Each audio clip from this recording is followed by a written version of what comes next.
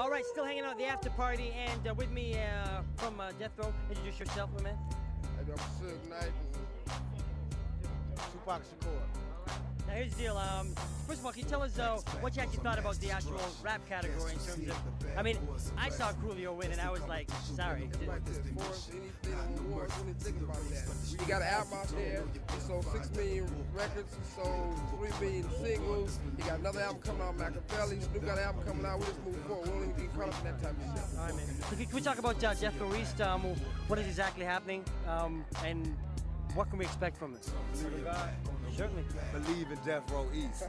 believe in that. Real. My That's boy it right "I'ma ride with if you you." believe in God, believe in Death Row East. We plan to take the same strategy we use with Death Row West, which is mind over matter, taking all our weaknesses and making it to our strengths. Keep we know that we got strength in numbers. We already run the streets out here.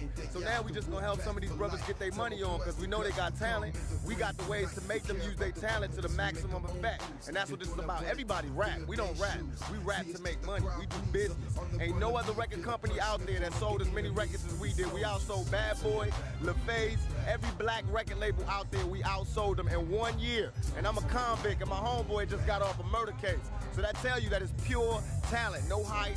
We don't got no all-American smiles. They don't even want to buy our record, but they gotta buy our record because we represent the street.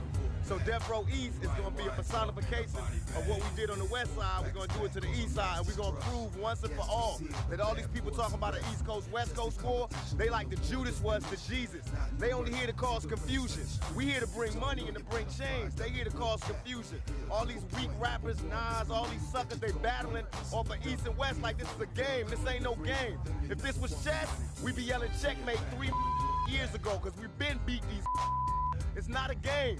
We out here trying to help our people make money. We trying to get out of this three strike circle they got us in and start getting our pimp papers on. So that's what we doing. By in numbers, we coming to the East Coast to prove there is no fear, there is no problem, there ain't nothing but opportunity. And the opportunity is overthrow the government y'all got right now, which is Bad Boy and Nas and all that